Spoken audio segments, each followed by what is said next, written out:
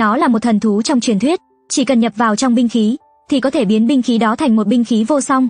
Nhưng con thần thú này hiện giờ lại nhập vào một con dao làm bếp, Long Tước không thể nào ngờ được, mọi chuyện lại đi đến bước này, bây giờ muốn thoát thân, chỉ đành khiến chủ nhân của con dao là A Long chết đi. Nó vốn dĩ định nhân cơ hội lúc A Long sử dụng mình để chặt đầu của cậu xuống, nhưng lúc này bạn A Long lại đến tìm cậu nhờ cậu đi cứu người.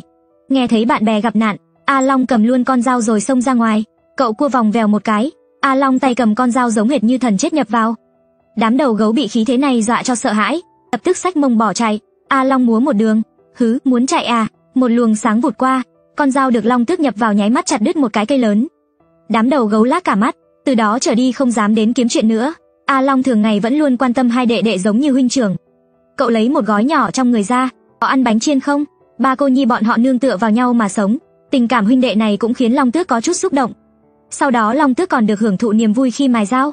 Cảm thấy ở bên cạnh A Long cũng không tệ, thế nhưng đệ đệ ngõa phiến lại đi học người ta thói ăn trộm. Không cẩn thận lại trộm đúng đồ của ba tên ác bá. Đây. Tên trộm lúc nãy, rõ ràng là trộm một túi vàng của ta, bây giờ lại biến thành đá, ngươi nói xem nên phạt thế nào?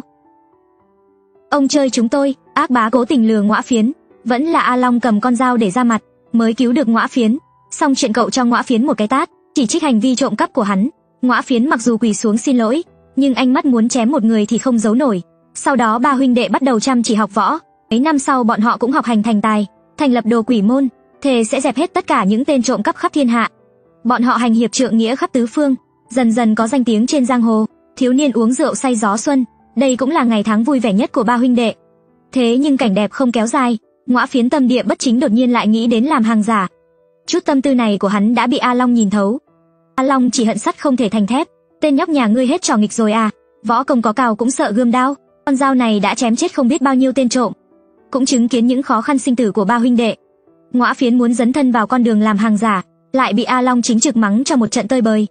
Thế nhưng ngõa phiến vẫn không biết hối cải, cho rằng muốn kiếm được tiền nhanh thì chỉ có thể đi lừa đảo. A Long hận sắt không thể thành thép cho hắn một bạt tai. Ngõa phiến lùi về sau một bước, chân không may bị mảnh vỡ của món đồ cổ vừa rồi đâm trúng. Mặc dù A Long mời đến rất nhiều danh y, nhưng ngõa phiến vẫn biến thành một tên que, xui xẻo cứ kéo nhau đến liên tục, nhưng kẻ thù trong ba năm nay của mấy huynh đệ cũng vào đúng lúc này tìm đến cửa, ba người quyết định trốn khỏi đây bằng đường hầm bí mật. Thế nhưng khi bọn họ đến cửa ra, ngõa phiến mang hận trong lòng đột nhiên phản bội, bán đứng hai người còn lại cho kẻ thù. Trong nháy mắt tên bay đến dồn dập, dù cho Long Tước sức mạnh vô địch, nhưng cũng vẫn không thể bảo vệ được chủ nhân. A Long bị bắn thành cái sang, cậu thân mang trọng thương nhưng vẫn muốn mở ra một con đường máu cho huynh đệ của mình. A Long bảo huynh đệ về căn nhà cũ đợi mình. A Long ca, yên tâm đi huynh đệ, huynh sẽ bảo vệ các đệ. A Long ca, nhưng cuối cùng cái mà y đợi được, chỉ là con dao nhuốm đầy máu kia, y cầm con dao quay lại chiến trường, thế nhưng A Long đã hiên ngang anh dũng hy sinh rồi. Chủ nhân con dao đã chết, ong Tước cũng lấy lại tự do, thế nhưng nó không quay về trời, mà là giúp A Long tiếp tục chăm sóc huynh đệ của mình. Người này chính là lão Trương, trong tay của lão Trương, con dao trở đã thành công cụ làm bếp đích thực, thế nhưng không lâu sau, lão Trương nhìn chiếc bình lưu ly già kia, lúc này mới biết ngõa phiến phản bội bọn họ năm đó. Hóa ra lại sống ở kinh thành, còn trở thành ông chủ tiệm đồ cổ, lão Trương thề phải báo thù, tối hôm đó đã đến tìm ngõa phiến, đến tận bây giờ ngõa phiến vẫn không biết hối cải, Long Tước nghe thấy tức run cả người, lão Trương tức giận vốn dĩ có thể dùng dao chặt đầu hắn ta xuống, nhưng nghĩ đến tình nghĩa huynh đệ năm đó, y vẫn không xuống tay được, lão Trương hy vọng ngõa phiến có thể đến quan phủ đầu thú. Ngõa phiến ngoài mặt thì đồng ý, nhưng không ngờ lại muốn giở trò sau lưng, cuối cùng lão Trương và Long Tước cũng chỉ đành dùng dao chặt đầu hắn. Để cúng tế cho A Long, câu chuyện kết thúc, phủ Doãn cũng đưa bộ khoái đến Ti phủ bắt người, nhưng Ti Cuồng Lan nói lão Trương đã sớm rời khỏi kinh thành rồi.